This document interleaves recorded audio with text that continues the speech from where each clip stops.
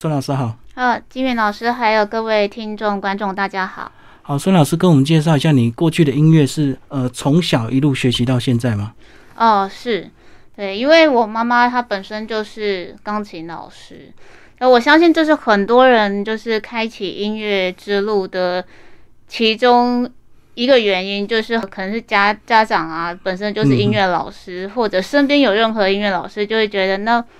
很自然的。像我跟妹妹就会觉得全世界的小孩都要学音乐，因为所有来我们家的小孩都是学音乐，嗯，所以这件事情对我们来说是相当自然就开始了。那你早期这个小朋友的时候学习会不会有点抗拒，还是理所当然就一直一直练习这样子？呃。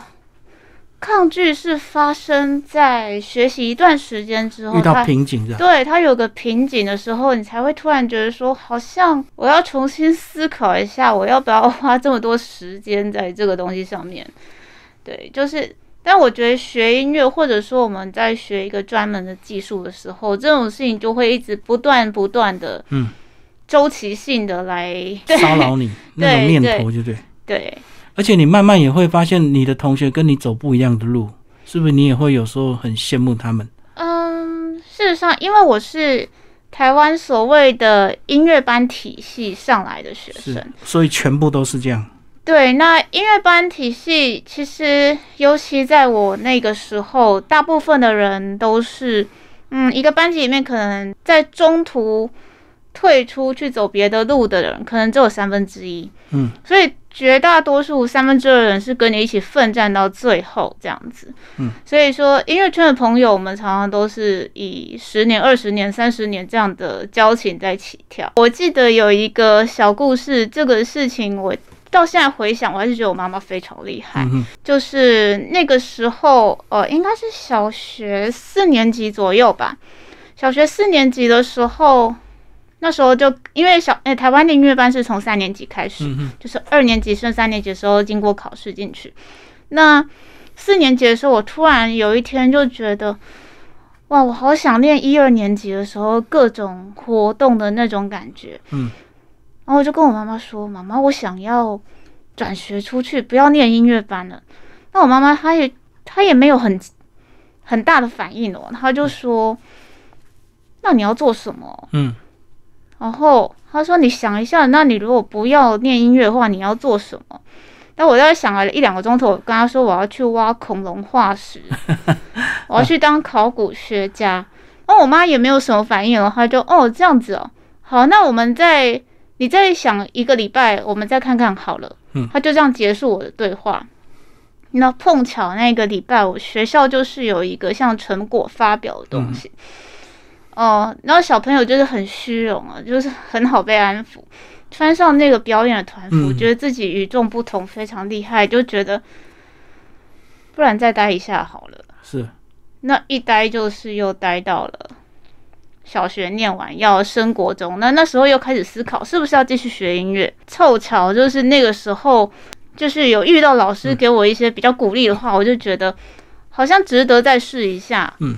那再试一下，确实也有考上国中音乐班，那就一直一路下去了。所以你说你妈很厉害，是她对你的这个回复是很淡定，就对。对她非常淡定，没有很激烈的去抵抗。我有想象过，假设她很激烈的反抗我，我可能会花我全身心灵的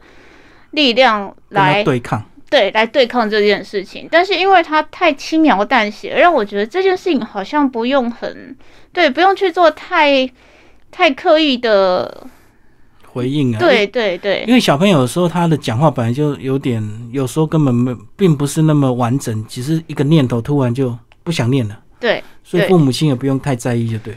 对，其实就是就是有时候他就是一个念头突然冲出来，就是小孩本来就是对所有事情都会好奇的。不用先急着否定他，他其实这个念头，如果说这个念头真的很强烈，过了一个礼拜之后，我相信我还是会告诉我妈妈说我要去挖恐龙化石。嗯，但是因为他其实没有强烈到撑一个礼拜嘛，对，那我自己就会知道，哎，这件事情其实是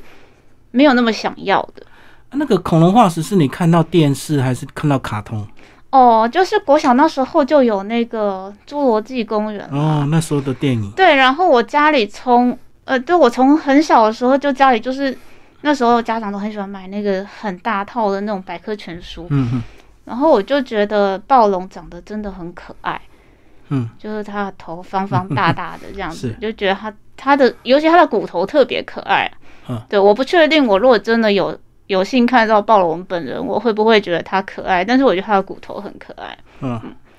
那你练到什么程度，你会感受到说，所谓的学音乐真的是跟先天资质是有点关系，还是说大家都可以纯粹的靠苦练来这个一路的这个成长？嗯，其实我一直都相信有天分这件事情，但是天分能不能真的支撑你到走专业的音乐之路？嗯我的我目前的看法是否定的，因为天分其实只顶多只能支撑你一开始启蒙时期是不是表现的比别人好，嗯，但后面如果没有没有很专业的训练，然后没有耐心、没有毅力的话，他其实是没有办法再往往上发展。但是又回过头来看，没有天分的话，他能靠苦练吗？嗯，他可以靠苦练，但是他真的相对难成为专业，嗯嗯，因为因为其实因为我现在有在教学，一定很多家长问你这个问题啊，对，他的小孩有没有天分？很多家长会说：“哎、我们这个就没有天分，我不确定他可不可以学。要不要再投资，对不对？对，要不要投资下去？嗯但是其实我确实遇过没有天分的孩子。嗯，在我刚开始教学的时候，这其实对我来说是蛮冲击的，因为我身边一直都是学音乐蛮顺利的小孩。就是我自己的成长过程，你没有想过？我没有想过这会有这么大的困难。对，我从来没有想过这会是困难，所以当我遇到这些孩子的时候，我第一个想法是我要怎么样去感受他的这个困境，这样子。嗯所以当我当我试着去理解孩子的感觉的时候，我那时候才觉得，哦，天哪！这如果没有一点点天分，其实真的那个起步相对困难很多，因为他有有些人真的没有音感啊，嗯，对，而有些人是节奏真的，他的想象里面他的单位是对的，但事实上他呈现出来的就就是错的。对对，他就是没有在一个架构里面。那就是说，他的逻辑对于这些的体会是比较缓慢的，就变成说你要花很多很多的各种练习，还有各种训练方式来帮他建立起来。那你是明白跟家长讲？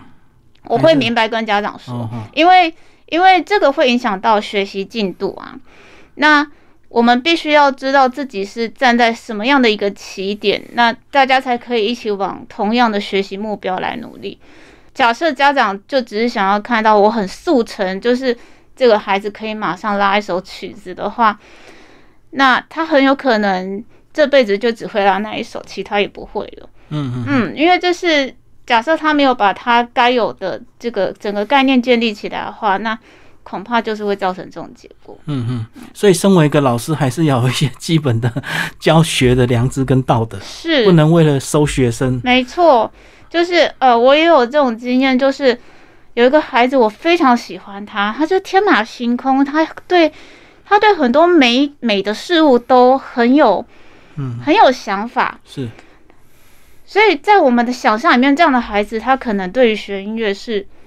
适合的，嗯，但没有想到就是他的音感真的不够好。是，他可以欣赏漂亮的，他可以欣赏好的音乐，但是他没有办法去判断自己是不是在做对的事情，这样子。然后后来就是我跟家长就是很认真的谈了，说我就说我觉得他不是没有努力，但是这个进步的程度真的嗯是缓慢。太慢了。然后而且这已经就是我已经感受到这件事情对他来说再也不是，快乐是痛苦的，对，其实学音乐它绝大多数都是痛苦的，我们只是依靠那个成就成就感获得的时候，用那个成就感，用那个每一个阶段的成就感来支持我们继续面对痛苦而已。痛苦的时间绝对是比较多的，对但是当我觉得这个孩子的痛苦，呃，并没有办法从别的。别的，他并没有成就感可以去支持他这个痛苦的时候，我必须要去想说，他是不是需要停下来一下？嗯，对，因为因为他，我们还是需要一些动力来支持自己做事情，就是要有成果展嘛。对对对，所以我那时候就是跟家长说，要不要请他就是暂停两个月的课，嗯，要是停三个月也没关系，让他感受一下这两三个月没有这堂课，他的生活有没有觉得比较愉快？理论上会比较快乐吧，因为对不用被其实迫练习。对对对，他其实他是愿意练习的，只是他的练习真的成效不好。嗯，对，我那时候就跟他说，我还有问孩子，我说你有没有其他想学的东西？妈啊、老师帮你跟妈妈谈这样。嗯然后他就说想要画画，想要跳舞什么的。然后我就跟家长讲，然后后来家长就送他去跳舞，这样。这个结果是我们我们都没有办法都没有预期到，就是他嗯这三个月去跳舞之后，他在那里面如鱼得水啊。然后后来他他自己又偷偷去参加比赛干什么的，他的成绩非常好。嗯嗯，所以说那才是他适合的地方。对对对，对，所以我觉得有时候就是当老师也要懂得放手，因为就是有些孩子你看得出来，他不是不愿意努力，可是他真的在这上面，你只会消磨他的意志而已。他的人生不应该这样子过的，你就让他去做他可以好好发展的事情。所以这样讲，其实很多父母亲就会把他曾经的音乐梦压在小孩身上，对不对？对。因为以前环境不好，没钱学钢琴，现在就逼小孩学，或是因为现在有，钱了，这样。对对对，会觉得说啊，再不然就是，那是我们那一代是这样子想的，但现在的就是我们的下一代比较多遇到的是说，所有人都学，我的孩子是不是应该要学一下？嗯，跟风的，对对对，就是跟风的想法是比较多的，再不然就觉得说，呃，甚至有些学校是规定大家都一定要有。嗯嗯，那那这种状态就是变成说，无论好或不好，你横竖都是要学一个。是，对，那现现在比较多人学习音乐的起点是这样子，嗯嗯，只是说要怎么样让他们变得说音乐可以成为他们呃生活的伙伴，或者说是一个他很习惯去呃抒发自己的管道，那就是接下来的学习我们要做的，我们要怎么样引导和安排的重点，这样子。嗯好，那回头再来讲你这个呃学习的过程，你那时候为什么会决定到国外去念一个演奏的硕士跟音乐博士？演奏跟音乐这两个有差别吗？呃，它其实呃主要是在这个学门里面他们的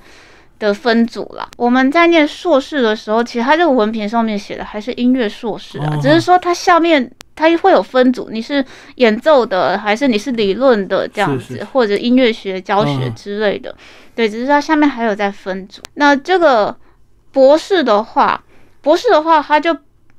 相对的比较重视理论。如果你在美国体系的话，他就会比较重视理论这样子。当然，每间学校的重点还是不太一样。那当时会想要去进修，呃，其实是一个，它也是一个，就是一个念头。嗯虽然说我妈妈从我很小的时候，她就下定主意，这个孩子一定要去留学这样子。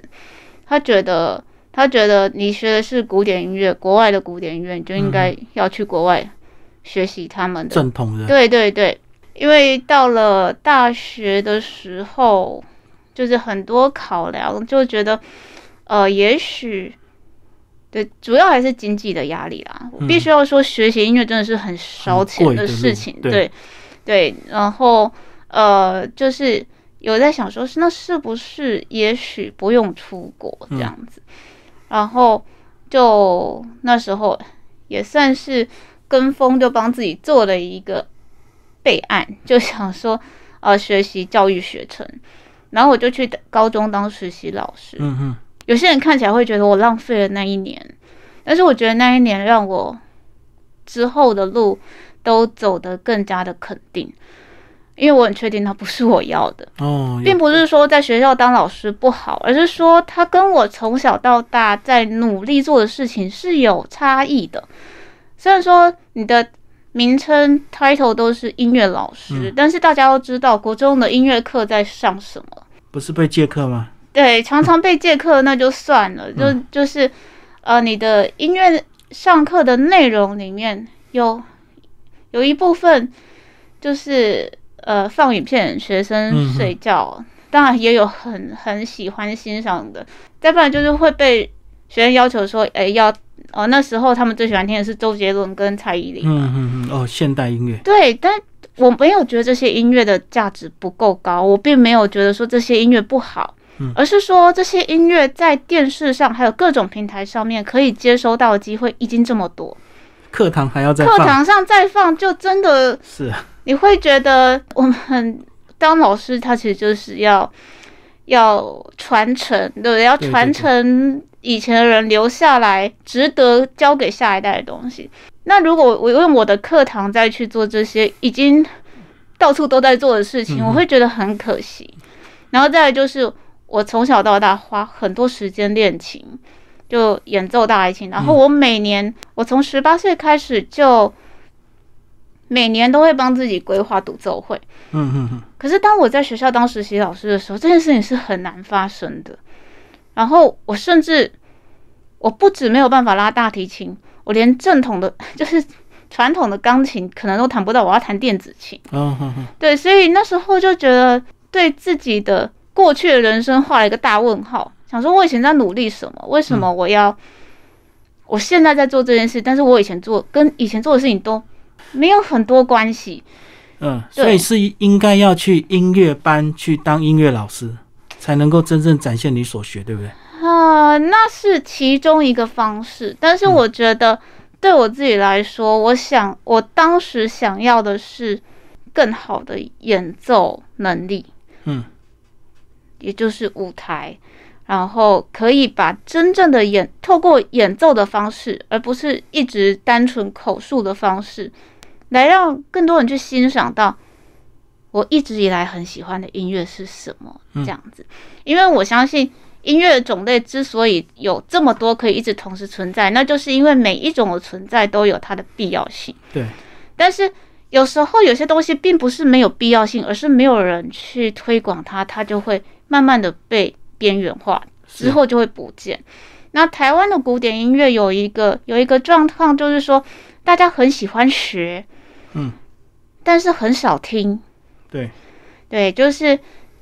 像我现在有些学生，他们一年听的音乐会其实真的很少，就是十手指头用都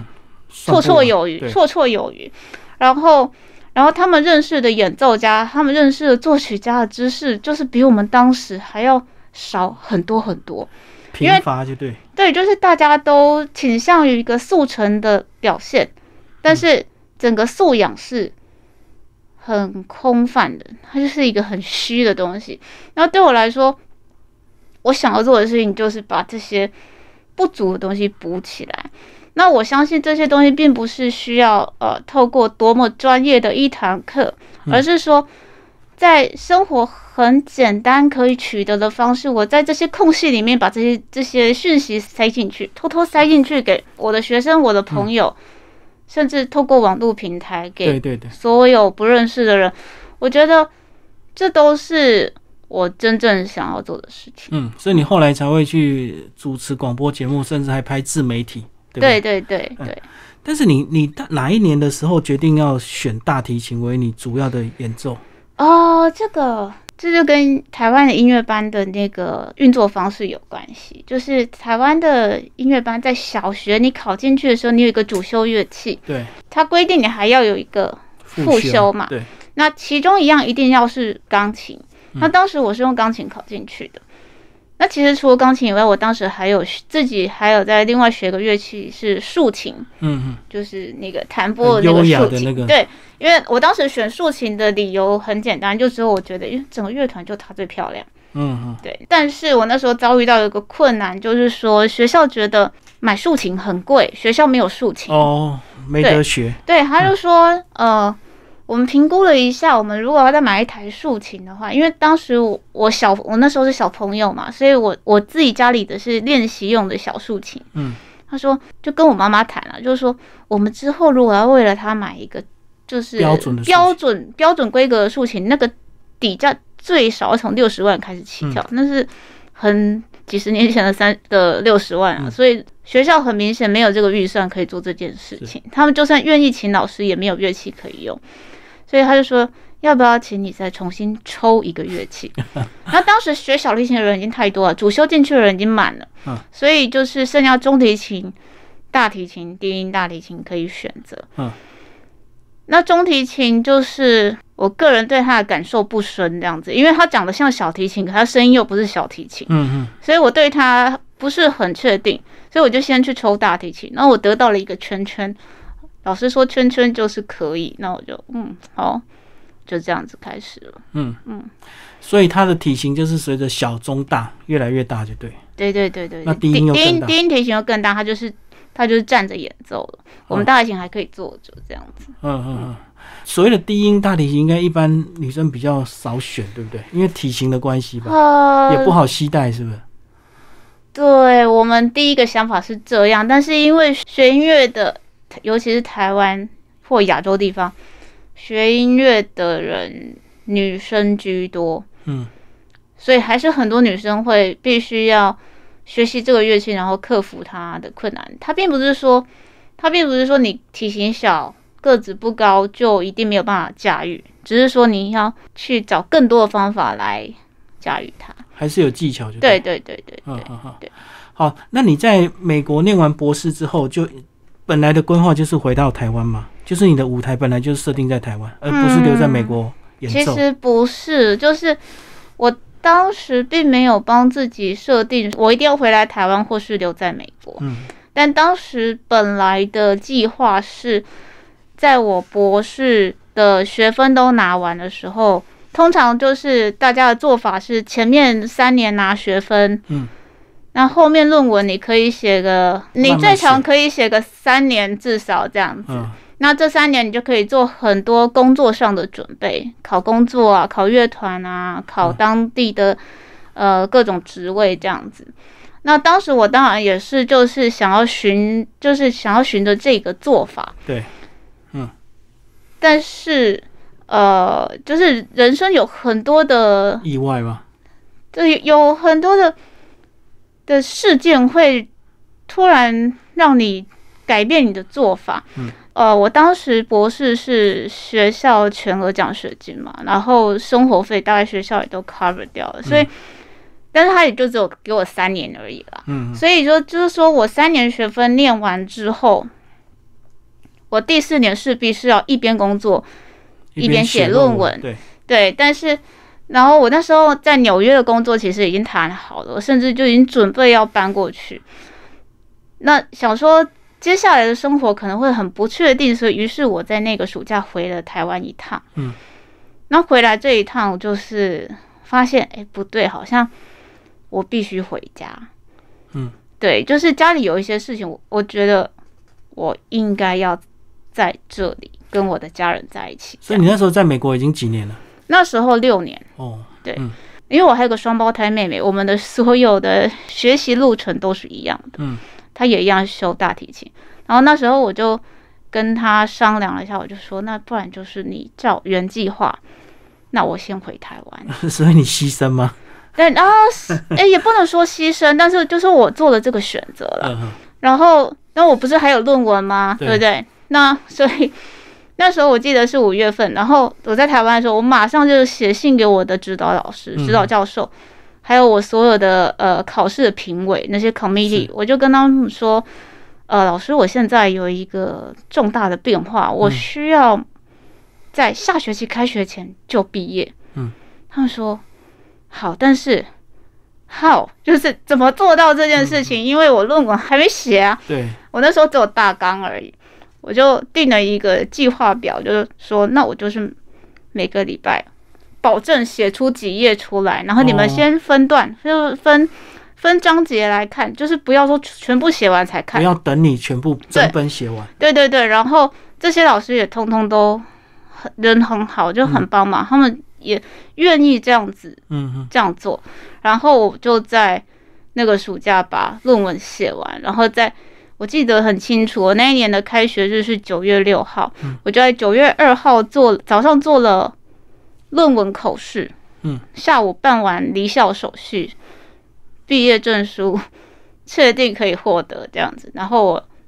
三号凌晨我就搭飞机回台湾了。哇，你就利用一个暑假写好论文，对，就是完全闭关。嗯哼，对对，是就这件事情不是做不到的，就是必须做到。对，所以你回头再看那一个当下的决定，会比本来你的计划是留在美国边工作慢慢写写三年，会有不一样吗？一定有很大的很大的不一样啊。嗯对，因为当时我回来之后，就是必须要马上投入工作。嗯嗯，对，必须要马上投入工作。那那事实上已经离开台湾那么多年，是，很多管道所谓的 connection，嗯那我们在这个行业里面，其实 connection 是很重要的。对但是但是在那个时候，其实是要整个全部重来。对对，所以所以头半年。哦，我记得我就是所有任何形式的表演工作或教学工作，我都接，嗯通杀？全部都接。但是我觉得那是一个非常好的经验，就是，然后我那时候也自己写那个呃企划书提案，嗯就是自己投去企企业啊，还有一些呃当时园区的一些服委会什么的，就是找商演就对，呃对自己找呃可能办，办办讲座，各种、嗯对，就是帮自己找各种机会。因为说真的，每一年毕业回来的人很多，嗯，那大家怎么会知道这个人在这里他会做什么事情？一定是要自己先去告诉大家嘛。自我推销啊，对对对，所以所以那时候呃刚回来的那半年做了很多这样子的事情，嗯。然后有一天就是在写，我记得很清楚是在写企划书的时候，我突然听到那个呃电台招募的嗯嗯，节目企划主持人的的这个广告的时候，我突然在想，嗯，媒体其实是一个有力量的东西，嗯嗯，对，所以我那时候就就去自我推荐，就嗯就想说我想要做这件事情，刚好就这样结合你的专业就对。对对对对对，嗯可是很多人归国不是都急着先找职业团嘛？找到职业团，他的工作就稳定了。呃，但是呢，有人家有开缺啊，嗯，要等就对。对，就是这个是要等的，那是但是因为这个开缺的事情，就是对我对当时的我来说，我并没有。我当时的状态，环境状态是不容许我坐在那里等机会，他们对对我没有办法等机会，我只能有什么机会就抓住。那我刚刚有提到，就是各种的形式的演出我都尝试。嗯那这其实，在后来的几年里面，它也成为一个很好的回馈，是因为大家就知道说孙运纯是什么都有可能的。嗯，就是说形式都可以。什么形式都有可能。其实他就是很简单，他只要给我一把我可以坐下来拉琴的椅子，嗯，这个演出就有可能会成立。也因为这样的关系，我接触到很多跨领域的演出，嗯啊，譬如说跟舞蹈结合，对，跟文学结合，或者是摄影、美术、绘画这些。那甚至后来发发展到，就是当然也有一些比较好的实质利益的商演的这些东西，就都是从这些过程里面去发展出来的。可是你在这么多跨界合作，会不会遇到那种比较搞不清楚的状况？他希望你用别的乐器来演奏的，或许他觉得大提琴那个声音 也许比较低沉，比较不适合他们的场合，嗯，要你换个小提琴，这样会不会有一些那我就会的要求？我就会马上推荐小提琴老师给他们。哦 对，偶尔会遇到这样子的状况，啊就是说会会有一些误会，就是说哦，会大提琴就一定会小。应该什么那个也会。对对对对对对，因为呃，电子乐器的老师们是比较容易说这个也会，那个也会，对对，但是对于我们这种乐器演奏来说，它就不是这样子的一个概念了。嗯对，因为你们比较是所谓的专职演奏家了哈，不像那些跑场的那些艺人，他可能什么都会一点，嗯，嗯哼，所以你要他换什么乐器，他都没问题。对对对，有有有有些时候他们只要一个电子琴，你要什么乐器，你要管风琴都可以啊。对，对，所以所以它是有一些些不一样的，但是这时候就是呃，我们要找出怎么样去让更多人理解说，这个乐器它即使不是你想象中的声音，嗯它也有可能会说出你想要的那个故事跟画面。嗯就是说，他永远都是有做法的啦。是是是。所以以大提琴来讲，在推广上是不是最指标的人物就是马友友嘛？呃，目前现在来说应该是这样子。嗯嗯嗯，对，然后过去 我刚回国的时候，所有的小女孩来找我学大提琴的，他们的指标人物大概就是像欧阳娜娜这样。对，那他们不一定知道马友友，但他们知道欧阳娜娜。对我觉得，我觉得他其实，在每一个每一个时代、每一个环境里面，都会一定会有一些人会让你觉得，呃，这个乐器勾起的一个学习动机。兴趣就对。对，我觉得那都是好的。甚至有很多人想到大提琴，第一个想到周杰伦啊，嗯嗯对，因为周杰伦他有拉大提琴，对，所以呃，我觉得都很好，但是我也会想要借机就是介绍我认为很好的大提琴家给大家认识，这样。嗯，所以你不会去想用大提琴来结合流行，会啊，也会，会啊。因，为对啊，我们对那些包括小提琴，不是有个那个陈美也是哦，对，拉的很犀利吗？对对对对。对，有大提琴也有这样的组合啊，嗯，最近最近刚发专辑的那个 Two Cellos，那个他们他们两个很帅的国外男生，嗯，他们也是一样，各种各式各样的曲目内容、音乐形态他们都有，然后最主要是他们又很帅，拉得很好，炫技，那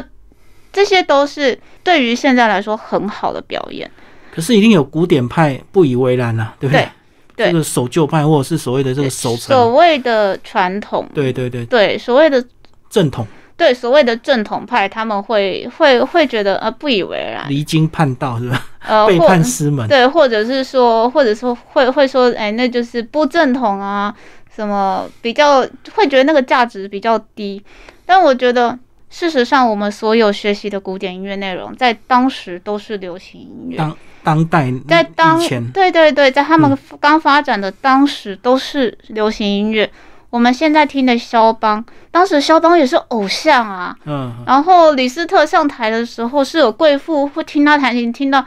太兴奋休克昏倒的那种，所以这跟我们现在演唱会是一样的事情啊。是是是，所以是我并不觉得说，呃，有什么是就是这这之间它没有所谓的高低之分，它就只有它是否能够继续传承下去的差别。嗯，传承下去才是最重要。对对对，嗯接下来孙老师讲一下你的现况好吧？包哦，我的现对况，拍了一些自媒体，然后你也有参加一些团的固定演出嘛？呃，是是，呃，就是。呃，过去这几年来啊，就是我有参加一个乐团，它叫做弯声乐团。那你可以从弯声乐团的名字就可以猜测到台湾的声音。嗯，那它的题材就是，呃，演奏内容就是它只演奏两种两种音乐，一种就是台湾人做的音乐，嗯，另外一种是台湾题材的音乐。它可以是外国人的作品，但是台湾题材。是对之所以会投入这个乐团，而且花了蛮多的心力，是因为也是一样，就是传承这个概念，就是然后再来就是我们会发现古典音乐之所以对于很多人来说，它是一个比较架空的东西，嗯有些人真的是把它当做装饰品，就我会拉个乐器这样而已。那这个为什么会架空？是因为它不接地气。嗯那在欧美，它为什么可以这么自然？是因为那就是他们的东西，嗯，他们是一代接一代的，这个东西对他们来说是太自然了。理所当然。对，所以我加入这个乐团有一个很重要的想法，就是说，因为它是以古典音乐的语法，啊、还有演奏乐器、演奏方式、编制来，嗯，来做台湾的音乐。那这跟我想要大家去注意到的的重点是一样的，是一致的。然后，然后我记得当时的这个发起人，也就是现在的团长李哲义老师，他那时候有一句话，我觉得很喜欢。他说：“我们常常都在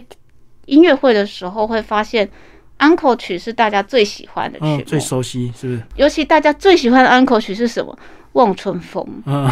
哇，那拍手就是最大声的。可是，那我们就可以知道，因为大家听得懂，他嗯获得感动了，所以他拍手最大声。可是为什么他只能被放在安可曲呢？嗯嗯那这就是我们需要再重新思考的事情。所以在过去几年里面，呃，大概四年，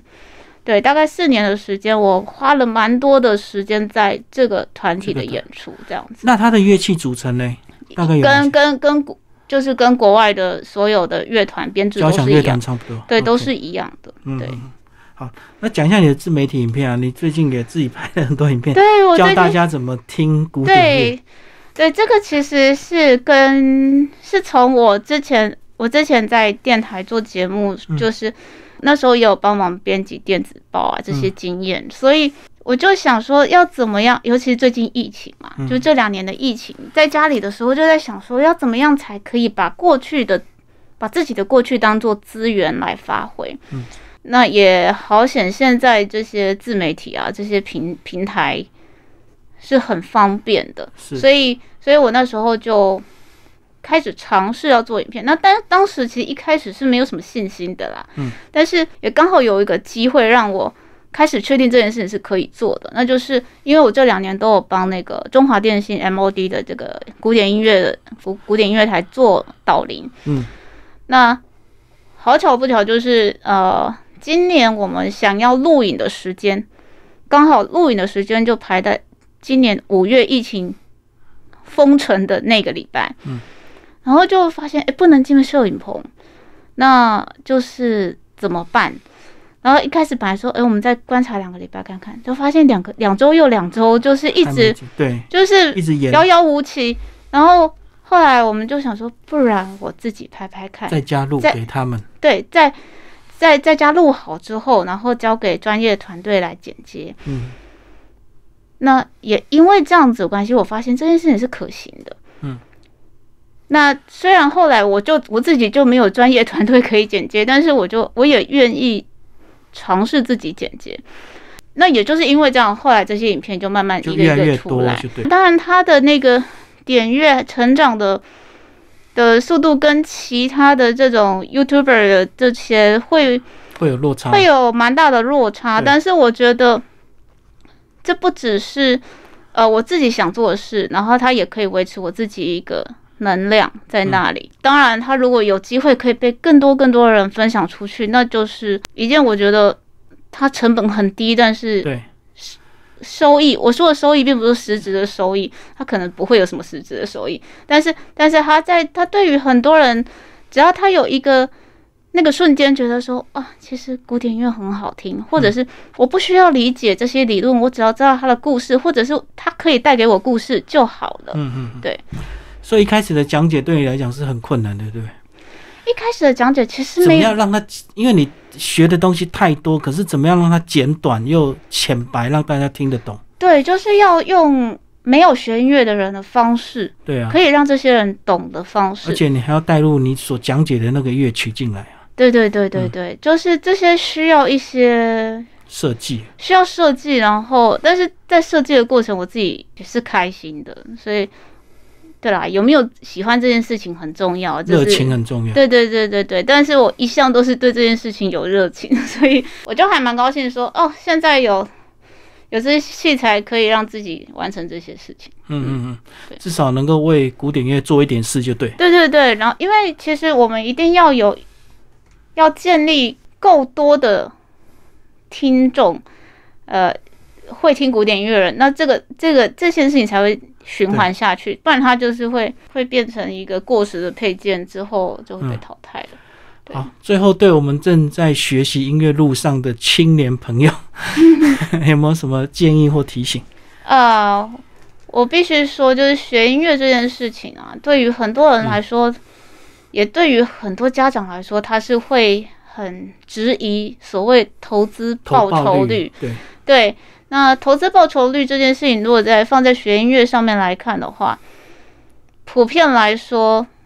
都是不成正比的。以你目前的成就来讲，也算没有办法诶，就是我认为，我认为我妈妈并没有 得到同等值的回报，因为当年，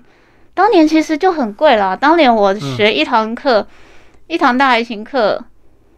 二十几年前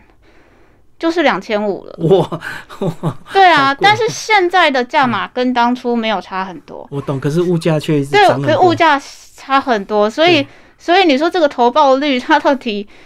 要怎么算？我觉得就是不用算，算的很伤感情。再来就是我接下来要说的，也有很多人说啊，这就是就是自我安慰的话，但我觉得它其实是真的，就是在这个过程里面，然后可以传承下去给孩子的东西，这些是无价的。我们的社会其实需要需要这些元素的存在，对它才有机会变得不一样更。应该说，对对对对对就是我们需要更多父母亲无私的爱，而不是去计算投报率，对因为小孩的成长过程是最快乐、最最重要的事情。对，还有就是说，这个素养的养成其实非常重要，对美对美的事物的这些这些养成的呃看法啦，素呃对。这些都是长大之后，当然自己可以去找办法，但是很多人他就会因为小时候没有这个起点，对，他之后也没有地方可以进入。对真的，我看到很多从小学音乐，也许他中间放弃了，可是他所学习的那几年的这种涵养，其实是会伴随他一辈子。对对，没错。我还有一些朋友，就是他可能从小学音乐念音乐班，然后但是他中途就退出了嘛，他就呃，有些人去当医生啊，有些人、呃去当女企业家、女强人，但是他们还是在某些时候，他们就是啊，我们来办一个。呃，reading section 就是在在大家一起私下来拉琴啊，对对这些事情对于他们生活上还是有很大的抚慰疗愈作用。然后再来就是这些事情是可以跟小孩一起做的，嗯嗯嗯，那它也是一个很好的活动啊，让你的小孩远离三 C。对是是是。嗯，好，我们今天非常谢谢孙英纯老师为大家介绍他的音乐人生，谢谢。那也谢谢老师。